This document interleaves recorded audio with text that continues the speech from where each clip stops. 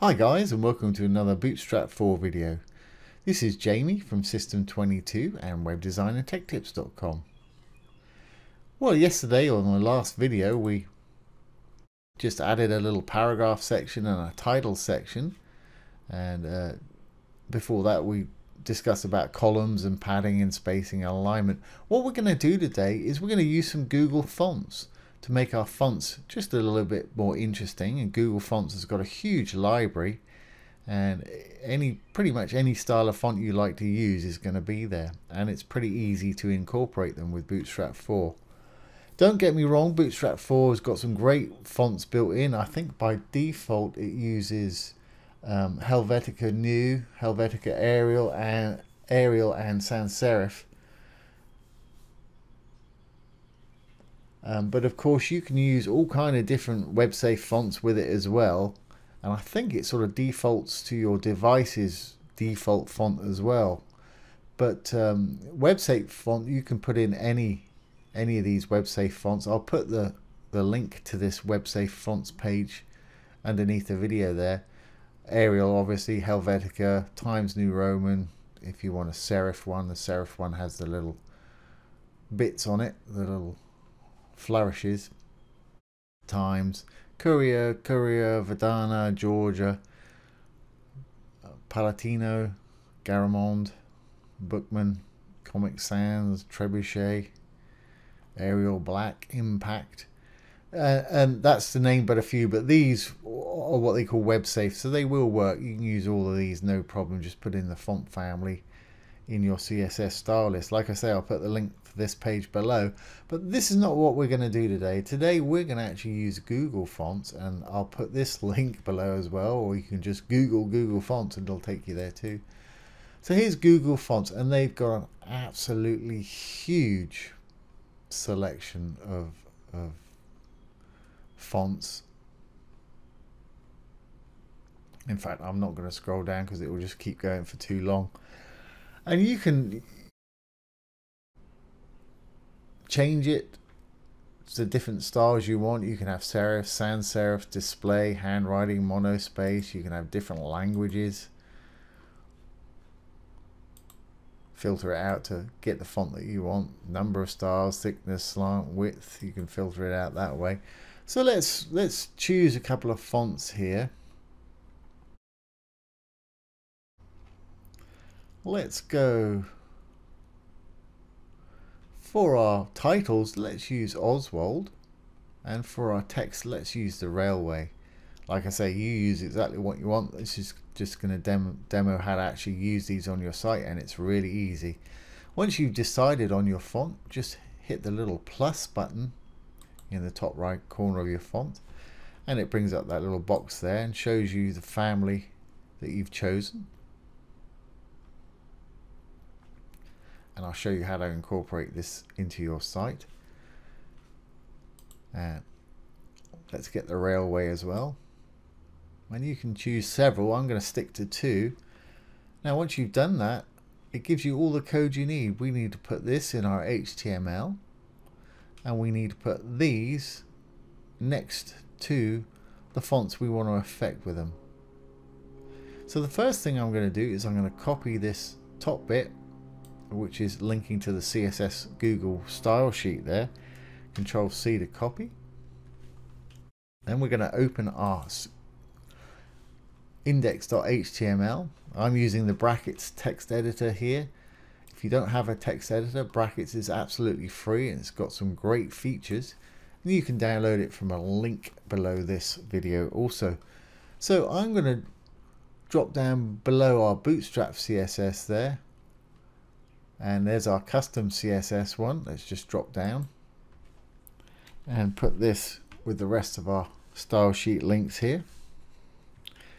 Control V to paste. And that it there it is. That's telling it to pull it in from the Google API alright let's save that. Control S. Now nothing will have changed because we haven't told it the styles we want to change it to. This is just going to tell it where to grab the styles for these things. So we need to go to our custom CSS. Now if we look at our site, we've got heading 2 here. I want to change that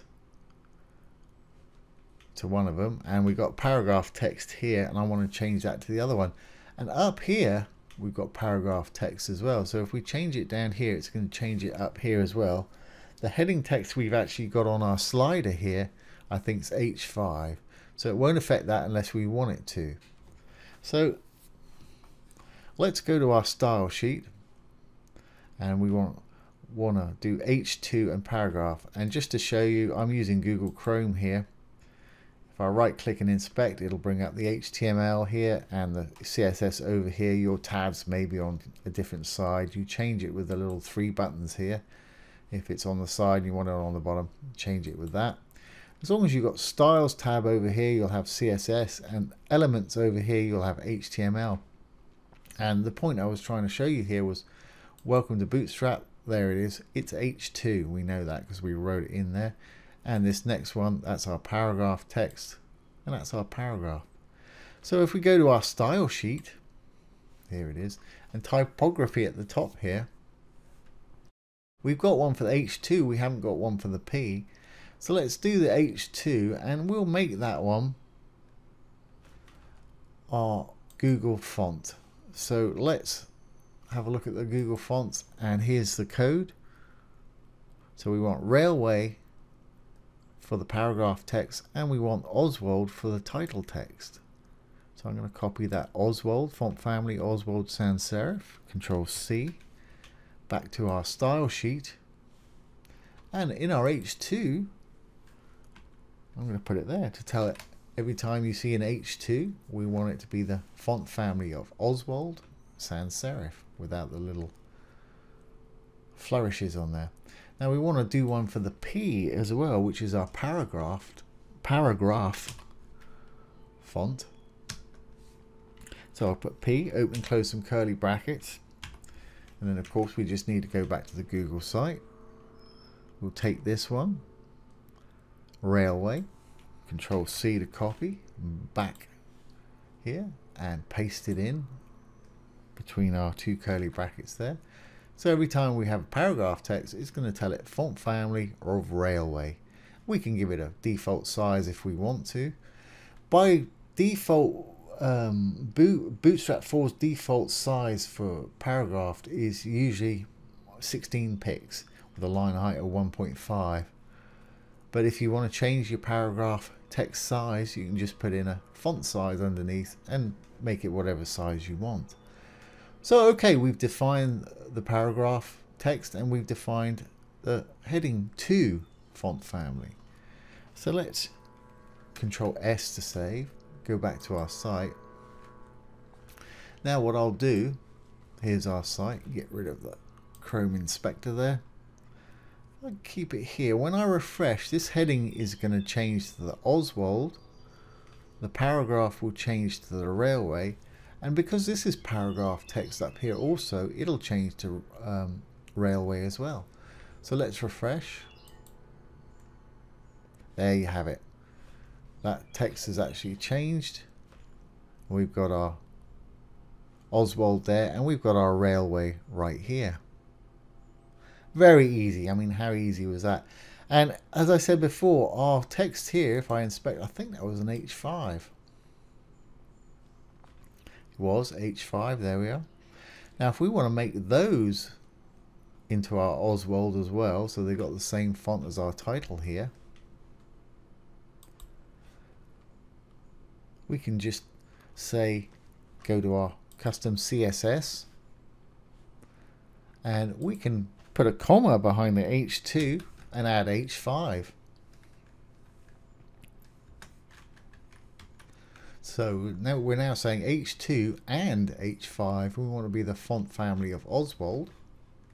Control S to save. Refresh and it should change the text on our slider here. There we go. And it's also made it blue. Which we didn't really want there. That's fine. Let's go back. The reason it's done that is because H5 we've got the color of blue the font size of 40 if we take this away Put it back to how it was. Because I really don't want the blue colour on the H5. So let's save that. Control S, go back. It should go back to how it was. There we go, it's the white. Let's go back now and give H5 its own little bit of CSS. So we'll drop down. So I've got H5. Open and close some curly brackets. In between there, give it a bit of space. Just going to take this. So it'll stay the same height as we've given it. But it'll change to the Oswald, the same as our other one up there. Control S to save. Back to the site. Now when I refresh, it should change, but it should actually say, stay the same color and size. There we go. Let's now change to the Oswald. How does it look with our, uh, not the Oswald, yes, the Oswald. Second, that's fine, fine. And like I say, you can use any of their selection of, of fonts on any size, H1 through H6 paragraph tags, on anything. And it really does give you a huge library and you can mix, mix and match font styles with headings and paragraph text and make your site stand out. So there you have it. That's how to add Google Fonts to your Bootstrap 4 website. Really easy and really worth doing as well to make your uh, site just stand out. So I hope you've enjoyed that. If you have, please give it a thumbs up, share, comment and subscribe to our YouTube channel. If you're interested in web development, take a look down below. We've got some great free web development courses down there, as well as some premium courses with some huge discounts for our YouTube subscribers. So do check it out. Once again, this has been Jamie with System22 and WebDesignAndTechTips.com. Thanks for watching. Have a great day.